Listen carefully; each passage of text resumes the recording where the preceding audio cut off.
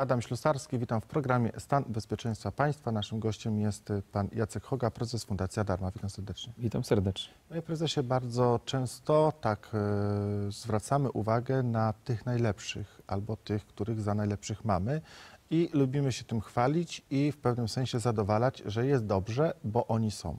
Mówię tutaj o jednostkach specjalnych. To są ludzie wyszkoleni, e, długo szkoleni, tak zakładamy, że to są naprawdę profesjonaliści. E, I tak troszeczkę to chyba ekstrapolujemy na stan obronności naszego państwa, na stan bezpieczeństwa państwa. Czy to słuszne założenia? Przede wszystkim musimy zadać sobie pytanie, czym są e, te tak e, powiedzmy na topie dzisiaj siły specjalne. Otóż z perspektywy historii wojskowej, historii wojen, to są siły lekkie, taka jest prawda również i dzisiaj, e, stosowane do walk nieregularnych albo do tak zwanej, jak to w XVIII wieku mówiono, małej wojny, E, czyli e, drażnienia przeciwnika, atakowanie jego sztabów, jakichś ważnych punktów. To jest coś, co ma wpływ na wojnę, bo jeśli by nie miało, to nikt by tego nie miał. Natomiast to nie są siły, które decydują o wyniku wojny. E, Takich przypadków w historii jest bardzo niewiele i to nie jako sam jedyny czynnik, tylko istotny w splocie innych wydarzeń.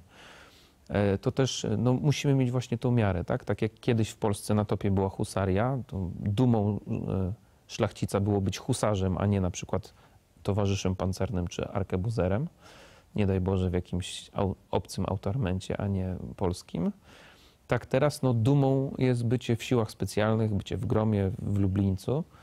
Natomiast musimy mieć świadomość, że to są lekkie siły właśnie, którymi wojny się nie wygrywa i które, tak jak w każdej dziedzinie wojskowości, mają swoje dwa poziomy, to znaczy dobre wykonawstwo e, zadań i stawianie zadań.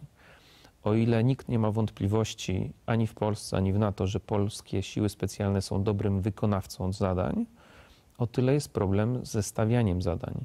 E, Mało kto pamięta, że mieliśmy być państwem ramowym NATO co do operacji specjalnych. Z wielkim hukiem to było ogłoszone kilka lat temu. Potem ucichło.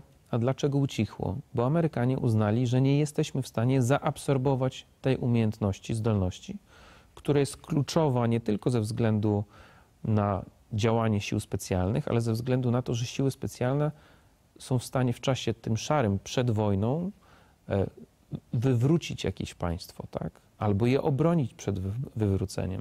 Czyli mówiąc inaczej, e, że my jesteśmy, za, tak, jesteśmy beznadziejni, nie nadajemy się do tego z tego względu, że e, do głowy by nam nie przyszło, żeby wojnę prewencyjną Nie, nie, to nie uczynić, chodzi o wojnę co, że, że jesteśmy to nie chodzi o wojnę prewencyjną. kwestii, czy Chodzi o to, że e, była obiektywna trudność z przyjęciem tych umiejętności.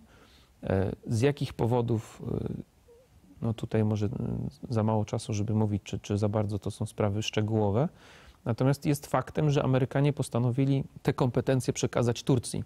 Państwem ramowym co do kompetencji w operacjach specjalnych e, miała zostać Turcja. Przekazano jej skutecznie te, e, te umiejętności. A skąd wiemy, że skutecznie?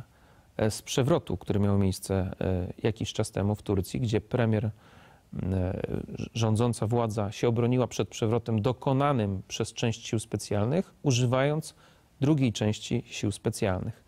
Można powiedzieć, że to była walka w, tureckich siłach specjalnych pomiędzy tureckimi Turkami a amerykańskimi Turkami, w której zwyciężyli Turcy tureccy, że tak powiem. Tak? O co chodzi? Otóż w trakcie przekazywania jakichś kompetencji, zwłaszcza co do wojsk specjalnych, często w sposób nie twardy, tylko miękki, odwraca się oficerów. To znaczy pokazuje im się własne kompetencje, własne umiejętności, e, nawiązuje się taką nić e, braterstwa broni, e, dzięki której ci ludzie, dla, dla nich naturalnym jest bycie w sojuszu z tym, kto przekazuje kompetencje. I Turcja nie dość, że była w stanie uzyskać te kompetencje, tak żeby być skutecznym junior partnerem, czyli takim młodszym bratem dla Stanów Zjednoczonych, oni zerwali się ze smyczy. Oni są w stanie prowadzić samodzielną politykę jako państwo, natomiast my jako państwo, mimo tych wszystkich banerów, które mamy rozwieszone na płotach Wojska Polskiego chronionego przez firmy ochroniarskie, mamy napisy służymy niepodległej, ale jeśli musimy implementować dyrektywy Unii Europejskiej, Musimy brać pod uwagę, co oni uważają o naszej reformie sądownictwa.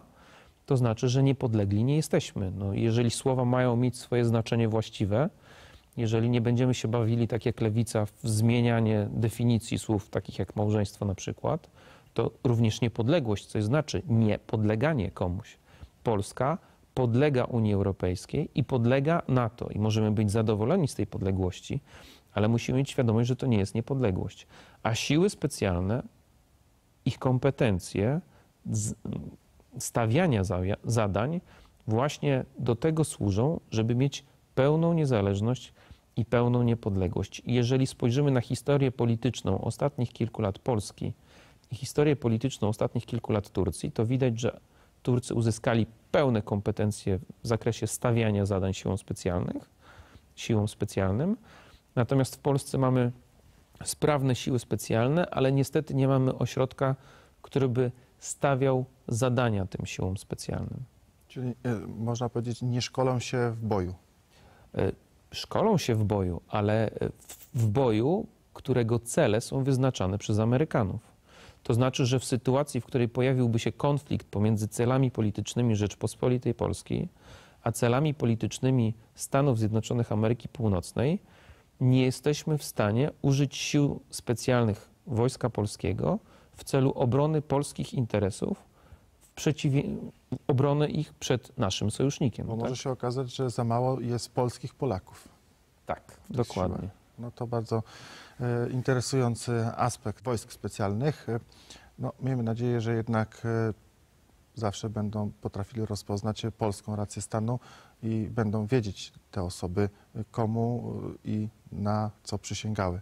Dziękuję za udział w Dziękuję programie. również. Państwu dziękuję za uwagę. Był to program Stan Bezpieczeństwa Państwa.